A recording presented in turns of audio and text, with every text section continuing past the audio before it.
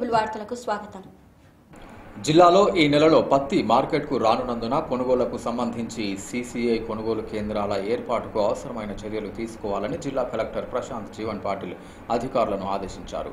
మంగళవారం నాడు పత్తి కొనుగోళ్ళకు శాఖల వారీగా చేయాల్సిన సన్నద్ధతపై మార్కెటింగ్ పోలీస్ వ్యవసాయ అగ్నిమాపక లీగల్ మెట్రాలజీ సీసీఐ జిన్నింగ్ మిల్లుల యజమానులతో సమావేశం నిర్వహించి కొనుగోళ్ళు చేయటానికి కార్యాచరణ ప్రణాళికపై సమీక్ష చేసి పలు సూచనలు చేశారు.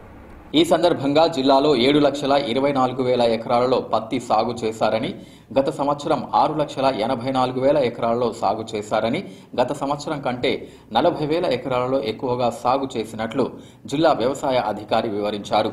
పత్తి రాక మిల్లులు జిన్నింగ్ సామర్థ్యం స్టోరేజీ సామర్థ్యం మిల్లుల్లో రక్షణ చర్యలపై జిల్లా కలెక్టర్ సమీక్షించారు.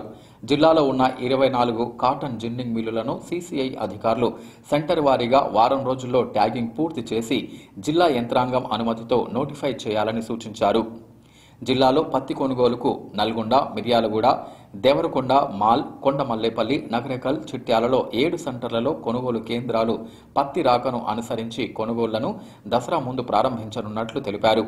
సీసీఐ కొనుగోళ్ళకు సిద్ధంగా ఉందని నిర్ణీత తేమ శాతం నాణ్యత ప్రమాణాలు ఉన్న పత్తిని కొనుగోలు చేయనున్నట్లు తెలిపారు. జిల్లాలో ఉన్న జిన్నింగ్ మిల్లుల్లో అగ్ని ప్రమాదాలు సంభవించకుండా అగ్ని ప్రమాద నివారణకు రక్షణ నివారణ చర్యలు పాటించాలని అనుకోకుండా అగ్ని ప్రమాదం సంభవిస్తే సీసీఐకి నష్టం జరుగుతుందని అన్నారు.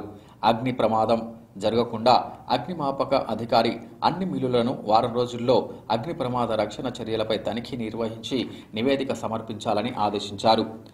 అదనపు కలెక్టర్ వి. చంద్రశేఖర్ మాట్లాడుతూ రైతు ఒకేసారి సెంటర్లకు రాకుండా రెవెన్యూ పోలీస్ యంత్రాంగంతో టోకెన్ జారీ చేసి రెగ్యులేట్కు చర్యలు తీసుకుంటామన్నారు.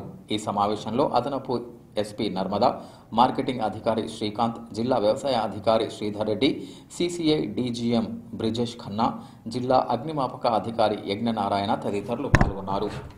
ఆత్మనిర్భర్ భారత్ అభియాన్ ప్యాకేజీ క్రింద రుణాలకు అర్హత ఉన్న వీధి వ్యాపారులకు రుణాలను మంజూరు చేయాలని జిల్లా కలెక్టర్ ప్రశాంత్ జీవన్ పాటిల్ బ్యాంకర్లను ఆదేశించారు. మంగళవారం నాడు జిల్లా కలెక్టర్ కార్యాలయంలో బ్యాంక్ కంట్రోలర్లు బ్రాంచ్ మేనేజర్లు మెప్మా అధికారులతో కోవిడ్ కారణంగా ఆత్మనిర్భర్ భారత్ అభియాన్ క్రింద వీధి వ్యాపారులకు పదివేల రూపాయల రుణం మంజూరుకు పెండింగ్ దరఖాస్తులపై బ్యాంకుల వారీగా బ్రాంచ్ల వారీగా కలెక్టర్ సమీక్షించారు. ఈ సందర్భంగా ఆయన మాట్లాడుతూ గుర్తించిన లబ్ధిదారుల రుణ మంజూరీలో జాప్యం చేయవద్దని అన్నారు. బ్యాంకు అధికారులు మున్సిపాలిటీలు మెప్మా నుండి వచ్చిన దరఖాస్తులను పెండింగ్ ఉంటే మంజూరు చేయాలని మంజూరు చేసిన వాటిని ఆన్లైన్లో అప్లోడ్ చేయాలన్నారు. ఏ ఒక్కరు కూడా రుణ మంజూరులో ఇబ్బంది పడకుండా మున్సిపాలిటీ మెప్మా బ్యాంక్ అధికారులు ప్రత్యేక దృష్టి పెట్టాలన్నారు. అదేవిధంగా కోవిడ్ నైన్టీన్ రుణాలు స్వయం సహాయక సభ్యులకు ఐదు వేల రూపాయల చొప్పున పెండింగ్ లేకుండా బ్యాంక్ అధికారులు మంజూరు చేయాలన్నారు. ఈ సమావేశంలో అదనపు collector Rahul Sharma lead district manager Suryam bank అధికారులు తదితరులు పాల్గొన్నారు.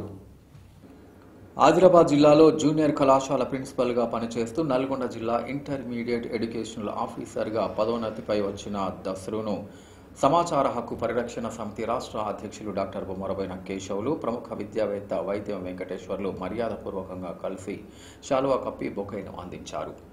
ఈ కార్యక్రమంలో జిల్లా మహిళా అధ్యక్షురాలు జినుగు జ్యోతిరెడ్డి ప్రధాన కార్యదర్శి మునగాల సుధారాణి పట్టణ అధ్యక్షులు MD Nazeer IT coordinator SG Azmat Jagan Satish Kumar Sandeep తదితరులు పాల్గొన్నారు.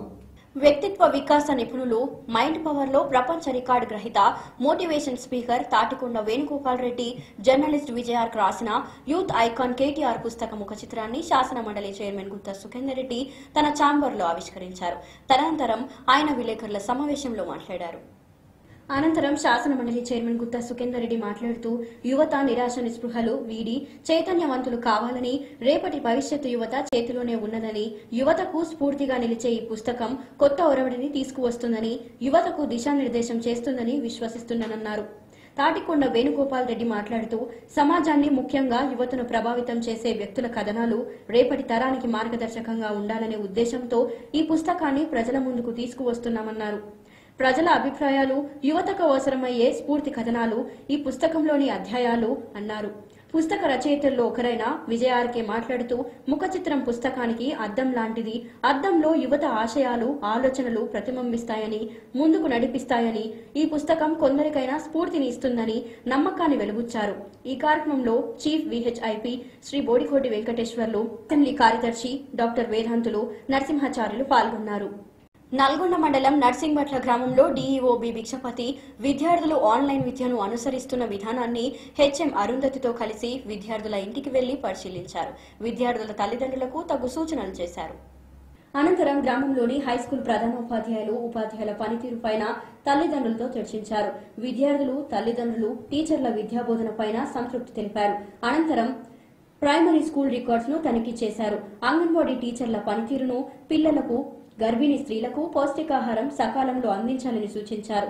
ఈ కార్యక్రమంలో high school head master K. Arundhati Nehru యువ కేంద్రం Nalgonda volunteer Ballem Praveen Kumar teachers Ravindrachari M. Yadagiri Pradeep Tejaswini Sandhyarani Raju Rammohan anganwadi teachers Santosha Nooru తదితరులు పాల్గొన్నారు. BJP ఆధ్వర్యంలో కృష్ణానది జలాలను రక్షించాలని ఆపెక్స్ కౌన్సిల్లో భాగంగా వాదన వినిపించాలని డిమాండ్ చేస్తూ తెలంగాణ భవన్ ముందు నిరసన కార్యక్రమం చేపట్టిన బీజేపీ నాయకులు. బీజేపీ ఆధ్వర్యంలో కృష్ణానది జలాలను రక్షించాలని ఆపెక్స్ కౌన్సిల్లో భాగంగా వాదన వినిపించాలని డిమాండ్ చేస్తూ తెలంగాణ భవన్ ముందు నిరసన కార్యక్రమం చేపట్టారు. ఈ కార్యక్రమంలో బీజేపీ రాష్ట్ర కార్యదర్శి మానగని శ్రీనివాస్ గౌడ్ బీజేపీ అధికార ప్రతినిధులు కృష్ణసాగర్ రావు ఏనుగు రాకేష్ రెడ్డి కోశాధికారి శాంతి కుమార్ బీజేపీ రాష్ట్ర నాయకులు గోలి మధుసూదన్ రెడ్డి తదితర నాయకులు కార్యకర్తలు పాల్గొన్నారు. మంగళవారం నాడు బీజేపీ జిల్లా శాఖ ఆధ్వర్యంలో దక్షిణ తెలంగాణ ప్రాంతంలోని సాగునీటి తాగునీటి అభివృద్ధి ప్రాజెక్టులపైన కేసీఆర్ వ్యవహరిస్తున్న నిర్లక్ష్యపు వైఖరికి నిరసనగా స్థానిక క్లాక్ టవర్ సెంటర్ వద్ద నిరసన కార్యక్రమం చేపట్టారు. అనంతరం జిల్లా ప్రధాన కార్యదర్శి నిమ్మల రాజశేఖర రెడ్డి విలేకరులతో మాట్లాడారు. ఈ సందర్భంగా ఆయన మాట్లాడుతూ పోతిరెడ్డిపాడు ద్వారా పట్టపగలే తెలంగాణ ప్రజల నోటికాడ బుక్కను లాక్కెళ్తుంటే ఇన్ని రోజులు ఫామ్ హౌస్ పక్కనే కూర్చొని ఉన్నావా? తెలంగాణ ప్రజల పొట్టకొట్టిన పోతిరెడ్డిపాడును అడ్డుకోకుండా నేడు ఆపెక్స్ కౌన్సిల్ మీటింగ్ అనగానే ఏం చెప్పాలో ఏం చేయాలో తొయ్యక రాజస్థాన్ అని మధ్యప్రదేశ్ అని ఏదో మతిస్థిమితం లేనట్టు మాట్లాడడం సిగ్గుచేటని విమర్శించారు.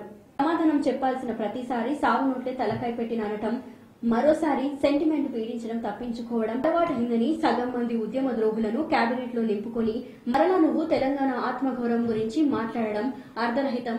రేపు జరగబోయే ఆపెక్స్ కౌన్సిల్ మీటింగ్ సాక్షిగా తెలంగాణకు పోతిరెడ్డిపాడు ద్వారా కాంట్రాక్టర్లతో నీ చీకటి ఒప్పందం ఎక్కడ బయటబయలు అవుతుందో అన్న భయం నీ మాటల్లో కొట్టొచ్చినట్లు కనిపిస్తుందని అన్నారు.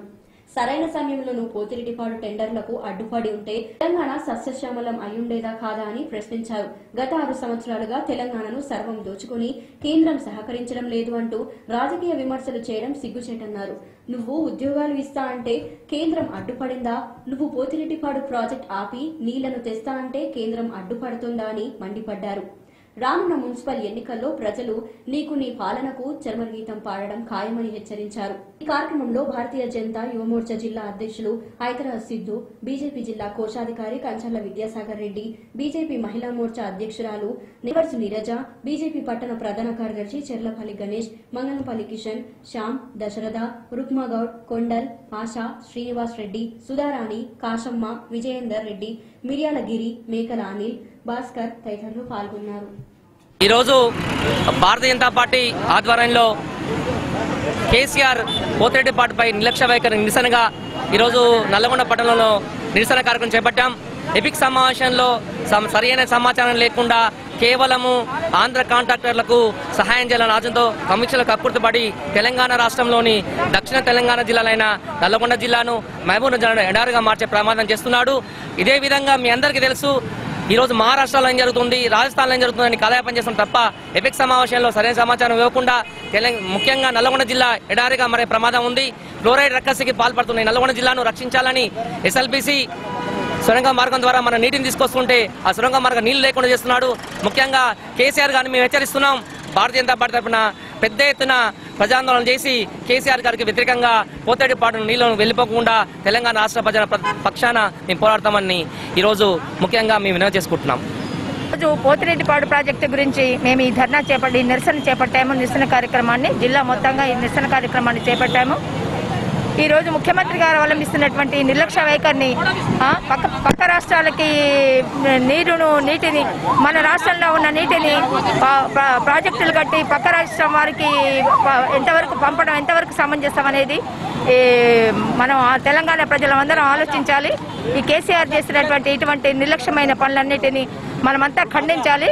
రేపు వచ్చే ఎమ్మెల్సీ ఎలక్షన్లలో కూడా మన బీజేపీకి పార్టీ బీజేపీ పార్టీకి ఓటేసి ఎమ్మెల్సీ అభ్యర్థిని మనం బీజేపీ వాళ్ళని గెలిపించుకోవాలని చెప్పేసి కోరుతున్నాం. ఇది ఎలక్షన్ ముందులో ఏదో ఒక స్టంట్ తీసుకొస్తారు ముఖ్యమంత్రి గారు. అది ఇంకా కొంచెం రాలేదు. అది త్వరలోనే రాబోతుంది. ఏదంటే ఏం కానుకలు ఇస్తారో తెలియదు ఈసారి ఎమ్మెల్సీ ఓటుకి. అలాంటి ఓట్లకు అలాంటి కానుకలకు మభ్యపడకుండా మన బీజేపీ క్యాండిడేట్లకు వేసుకొని ఈ పోతిరెడ్డిపాడు ప్రాజెక్టు విషయం గురించి కూడా మనము చాలా సీరియస్గా ఉండాలని చెప్పేసి ప్రజలందరినీ వేడుకుంటున్నాము. ఈరోజు తెలంగాణ వ్యాప్తంగా కేంద్ర ప్రభుత్వం ఎంతో చేస్తున్నప్పటికీ వడ్డించేవాడు మనవాడైతే ఒక గంట ఎక్కువ పడుతుందన్న చందంగా రాష్ట్ర ప్రభుత్వం మాత్రం మొద్దు నిద్ర వహిస్తూ తెలంగాణ మొత్తాన్ని ఎడారిలాగా చేసేందుకు ఈరోజు కేసీఆర్ ప్రభుత్వం పథకం పన్నుతున్నట్టు అనిపిస్తుంది. పక్క రాష్ట్రాలతో చెట్టా పట్టాలు వేసుకొని తిరిగి కమిషన్ల కోసం కకృతి పడి ఈరోజు తెలంగాణ ఎడారిగా చేస్తే బీజేపీ ఇక్కడ సహించబోదని ఇక్కడ కూడా బీజేపీ పార్టీ కేసీఆర్కి రానున్న రోజుల్లో తగిన బుద్ధి చెప్తుందని ఈ సందర్భంగా మనం చేసుకుంటున్నాం. ఈ వార్తలు ఇంతటితో సమాప్తం. తిరిగి రేపటి సిటీ కేబుల్ వార్తలను మళ్ళీ కలుద్దాం. నిరంతర ప్రసారాల కోసం చూస్తూనే ఉండండి. మీది మనది మనందరిది సిటీ కేబుల్.